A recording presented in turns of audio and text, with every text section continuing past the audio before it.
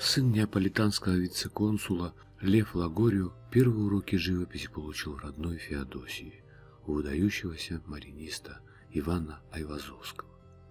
В 1843-1853 годах Лагорио обучался в Императорской академии художеств, где его наставниками являлись мастера батальной живописи Богдан Веливальде и Александр Зуэрвейд и пейзажист Максим Воробьев.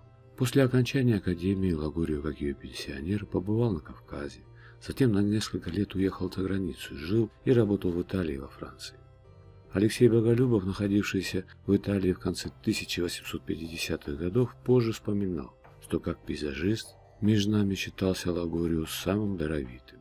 В 1860 году, минуя звание академика, за итальянские виды, художник был сразу удостоен звания профессора пейзажной живописи.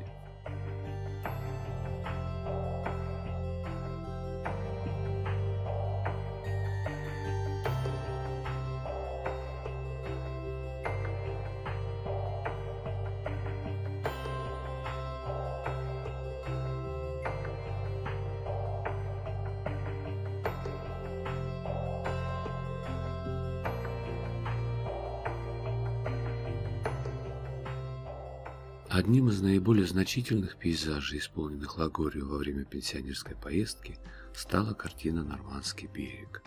Художник представил вид северного французского побережья с характерным для него изломанным скалистым рельефом. Берег изображен час отлива, когда океан отступает, обнажая отвесные утесы и морское дно. На отмеле лежит рыбацкая шхуна, с которой выгружают улов. Ребятишки пускают в неглубокой воде кораблик. Фигурки рыбаков и силуэт парусника рисуются на фоне закатного неба, покрытого облачной дымкой. Лучи заходящего солнца озаряют меловые утесы. Для моря и для людей наступил час покоя и отдыха.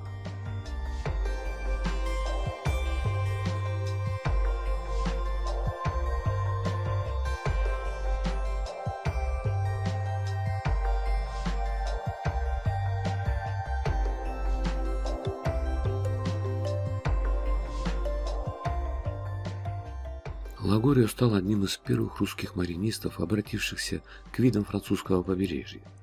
В середине и второй половине XIX века они постепенно вытеснили яркие южные пейзажи, привлекая живописцев возможностью передать тонкие нюансы световоздушной среды, присущие пасмурной северной природе. Создав масштабную композицию, Лагорио сумел придать ей лирический и одновременно жизненный характер. Сдержанные краски ландшафта оказались наиболее созвучны живописному темпераменту мастера, предпочитавшего спокойную красочную гамму с преобладанием серовато-серебристых и коричневато-золотистых тонов. Обобщенная силуэтная манера письма подчеркивает целостность созданного в картине пространственного образа.